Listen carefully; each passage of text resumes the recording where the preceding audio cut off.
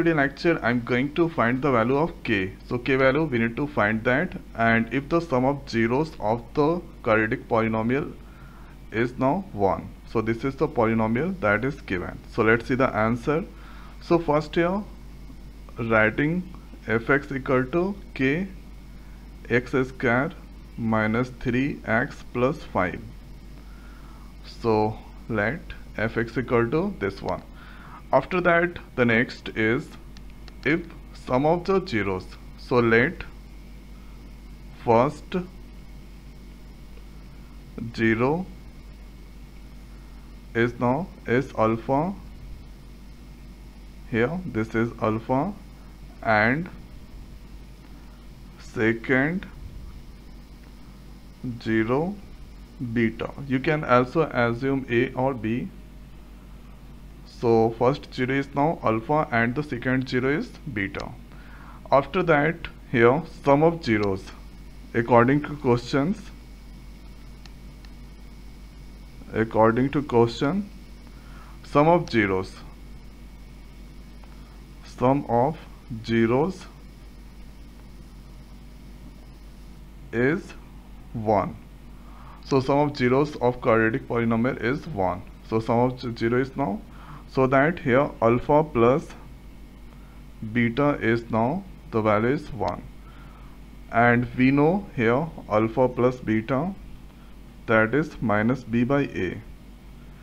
So here the coefficient minus coefficient of x divided by coefficient of x square. So that here we can write alpha plus beta is now the value come so here minus b by a. So here we can write minus coefficient of x divided by coefficient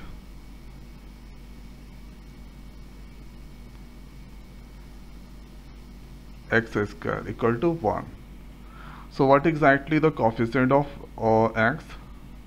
So coefficient of x is now so minus here coefficient of x is now minus 3 then after coefficient of x square is now k equal to 1 and after that uh, here this we can write minus into minus that is changed to plus.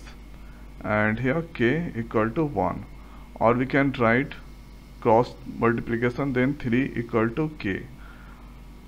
Or we can write k equal to 3 so this is the answer of this. And this is the value of k. So one time going to repeat this all. So here write the given polynomial. Then you need to assume. So let first 0 is alpha and the second 0 is beta. After that according to question so sum of zeros. So sum of 0 is now 1 that is given okay so the next is alpha plus beta that is 1 and alpha plus beta value is now coefficient of x minus coefficient of x divided by coefficient of x square or we can write minus b by a. So if you know already the general formula of the quadratic equation ax square plus bx plus c equal to 0 this is the general form of the quadratic equation and this is now given polynomial 3x plus 5 so here you can easily get here the value of a b and c. So here a value is now k b value minus 3 and c value is now 5 so after that or you can write here minus coefficient of x divided by coefficient of x square put the values of x then you can get, get here k value. So this is the way we can find the value of k of this polynomial so now in this video it's over. So thanks for watching. See next video. Thank you